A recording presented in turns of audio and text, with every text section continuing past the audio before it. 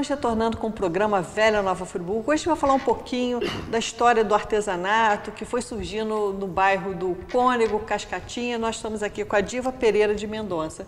Diva, como é que é a história assim, da criação desse pavilhão do artesanato lá no Cônego? Esse pavilhão veio uma verba uh, para vários lugares. E aqui o Dornelles, que foi na época do Dornelles, que era ministro, né? Então ele cedeu um dinheiro e foi construído o pavilhão. Só que ficou ali meio esquecido, né? Ele não tinha para quem entregar aquilo assim documentado, né? E na época nós tínhamos uma cooperativa que funcionava ali onde é o restaurante. E aí nós fomos atrás do Dornelles e ele falou assim, imediatamente vocês entregam. Mas só poderia entregar na época se a gente tivesse documentação. E a gente tinha tudo, né? Aí, o terreno era da prefeitura? É tudo da prefeitura. Tá. Só que o dinheiro foi doado pelo Ministério da, do Turismo. Do Turismo, então, Cultura é, tal. Aí veio e foi fez que ano isso? 2000. Mil, 2000, né, Marcos? 2000. Não, até um pouco antes, porque ali... Era eu, 199. É, eu, é, exatamente. É. Eu fiz parte do governo Paulo Azevedo, como secretário na prefeitura na época, e o Paulo teve um esforço muito grande para poder negociar, Janaína, a, a, aquele espaço ali. É. Ele teve que fazer permutas, negociações, de tal maneira né, para que aquele espaço todo ali pudesse ser feito. E Mas o, o, terreno era da prefeitura? Não, não, não, o terreno era de. Tinha outros. É, a prefeitura Antes, tinha uma parte que ah, passava, tá, mas tinha ampliar. outras partes. E aí o Paulo Azevedo, nessa época, o Francisco Dornelli, atual governador do estado uhum. hoje, uhum. ele é, foi importante, ele sempre ajudou muito a Friburgo, Gostava, é. por intermédio tanto do Heródoto como do Paulo, Paulo Azevedo, todos aqui. dois tiveram uma grande influência junto ao governador é. e ele então pôde ajudar. E aquele pavilhão era uma ideia maravilhosa, era uma ideia de Friburgo, com o artesanato crescendo, com esse trabalho é. do seu Ademar e da Diva, de poder ali se expandir e ser um ponto de turismo para Friburgo. Né? Aí foi que tinha a cooperativa também, não tinha, Diva? Tinha. Essa cooperativa é. é talvez não evoluiu muito mas mas é, era só dos artesãos. Mas é o espaço de, não, hoje tudo, tudo. Porque houve uh, uh, uma uma exposição que foi o projeto artesão. Esse projeto artesão vamos fazer, vamos fazer. Então foi no SESC essa, essa feira.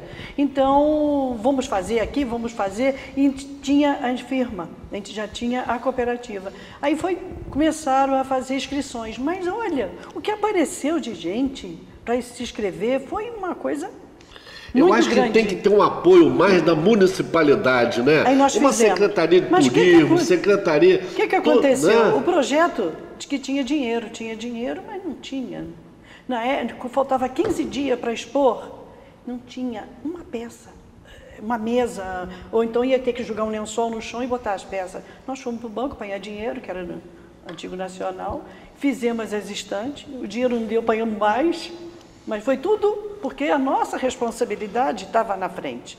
E a gente não podia ter um, uma feira daquela imensa, porque foi grande. Menina, deu tudo certo. Em 15 dias nós montamos. Nós trabalhamos muito. Montou aquelas estantes montadas, fez no SESC, aquilo fez um maior sucesso, né? Foi daí que a gente entrou lá para o pavilhão. E ficamos, certo. aí, quer dizer, inaugurou 2000. É, o tem projeto a placa, come... tem tudo lá. No pavilhão tinha uh, um restaurante, né? Tinha, era que fun... nosso Ainda também. tem, não? Tem, agora está muito bom lá, ah, já não é mais não. Uma tá. comidinha gostosa muito, mesmo, nos domingos, gente. É, aqui, ó, enche. É? é? Continua então. Continua, de segunda a segunda. O, o Diva. Mas é pouco conhecido na cidade, né? Precisa ser mais divulgado. nunca teve dinheiro para fazer propaganda. Você sabe que uma propaganda em televisão é caro. Aqui na Luau não é não. É bem caro a propaganda na televisão, não é? Então, a gente ia devagarzinho, mas a gente tinha mais.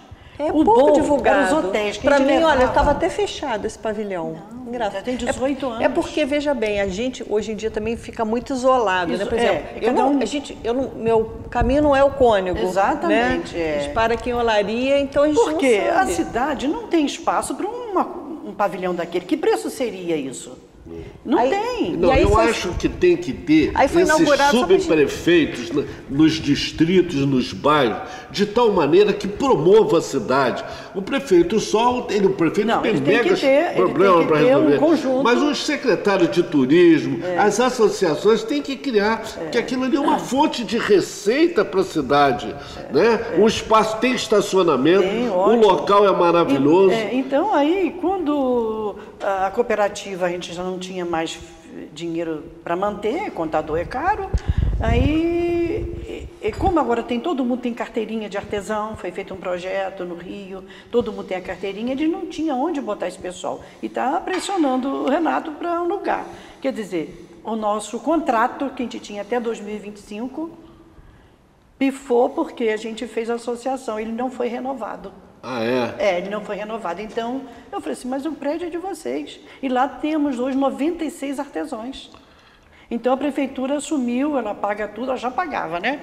Então ela paga tudo e porque era particular, a gente tinha que pagar para entrar, é, mensalidade, porcentagem, tudo. Hoje em dia é gratuito. Hoje é gratuito, então a gente tem, eu emprestei todo o meu material lá para eles, as estantes, porque também não tinham onde colocar. Aí o secretário de turismo, o Pablo, disse, ah, não, vocês emprestam, está lá emprestado para eles. Diva, o... Está muito bonito.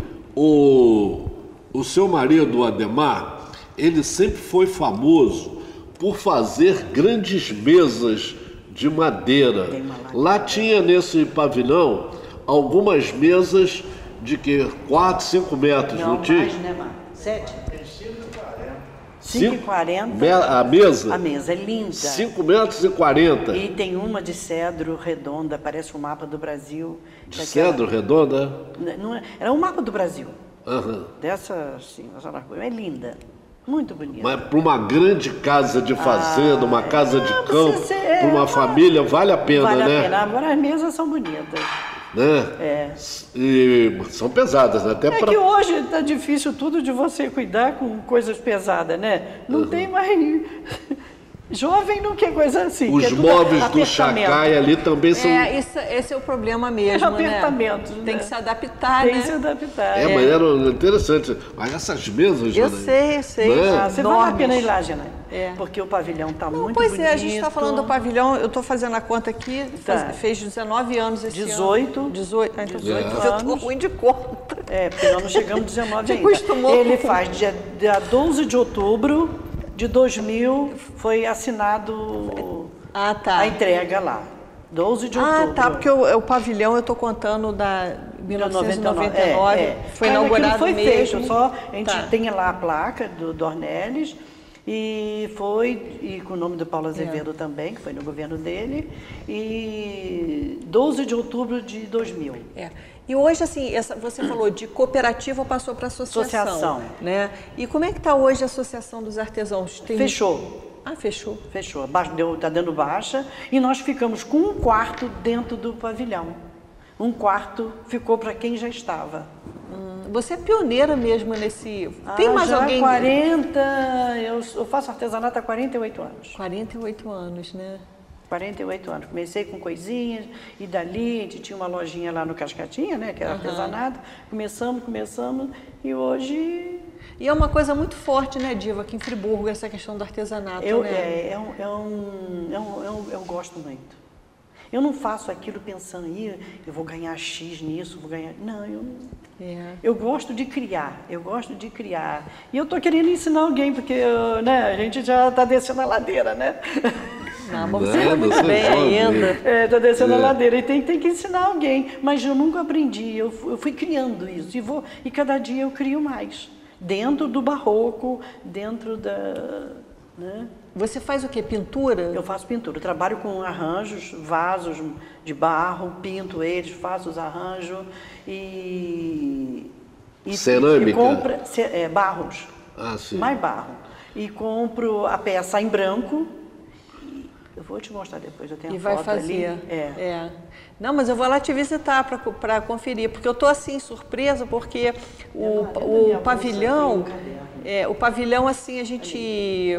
É porque é final de semana, né? Que, como é que é o quinta funcionamento domingo, lá? De 10 às 5. De 10 às 5, É. de quinta a domingo. De quinta a domingo. Põe a sua, É. não, põe a sua Pois é. caderno. Ele pegou a bolsa. fazer uma, Tá certo, a gente Tem vai problema, mostrando. uma coisa que serve como matéria muito boa. Aqui. É, deixa, vamos mostrar aqui então o seu trabalho. Ai, que coisa linda! Talvez não seja nenhuma cidade no Brasil isso que é- tenha um É. Como que nem Aqui vamos mostrar, olha só, a gente está mostrando aqui, olha que trabalho lindo. Isso é uma peça de meio busto, né? Uma, um presépio, é, preso em cima de uma madeira. É. Deixa eu mostrar mais esse aqui. Olha esse. Nossa, esse aqui tá lindo. Esse é lindo. Isso é cerâmica. Gesso. Ah, gesso, né? Eles têm, o que eles estão comentando, Janaína, eles têm um trabalho muito diversificado. É. muita coisa. É um trabalho e ao com isso, longo, né, eu sempre acompanhei, fiquei É. sempre encantado com as coisas feitas por vocês. Certo? Nesses espaços. E eu me lembro, é, Janaína, na hora que a gente está falando do pavilhão, eu na época, o Paulo, eu queria um espaço ali desse, do, do Cônigo para a construção de uma quadra. Eu era secretário de esporte da cidade e queria fazer naquela área ali. Paulinho falou: você tenha paciência que vai sair Tá o seu espaço. E aí foi construído esse, a- esse pavilhão É. que realmente eu frequentei durante muito tempo. Todos os domingos eu gostava ia de ir, É. visitar, e era realmente maravilhoso. E Friburgo precisa realmente que os prefeitos Divulguem, é, né? divulguem essa, Tá né, esse espaço. Tá, a gente vai fazer um breve intervalo, daqui a pouco a gente retorna na velha Nova Friburgo.